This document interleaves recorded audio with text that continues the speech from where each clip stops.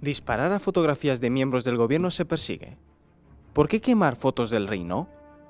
Según un artículo de 1021, nos surgen ahora varias dudas, y es que en España hemos visto quemar imágenes del rey de España, tanto del emérito como del actual, así como desear la muerte a miembros de las fuerzas y cuerpos de seguridad del Estado, incitar a hacer scratches y en definitiva un sinfín de acciones que también incitan al odio.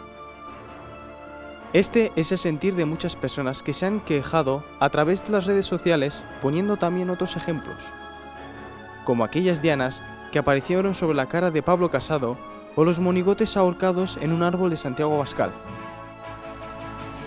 Por otro lado, recuerdan también que en su época, los mismos que ahora se quejan del vídeo jaleaban otras expresiones de violentar a la sociedad, como las caceroladas a Felipe VI en las que participaba Pablo Iglesias, dentro de lo que él mismo consideraba libertad de expresión.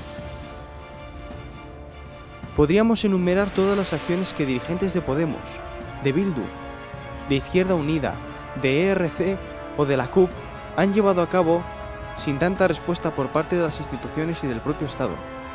Pero igual de condenable es un vídeo como cada acción que se han jaleado sin respuesta alguna por parte de las autoridades.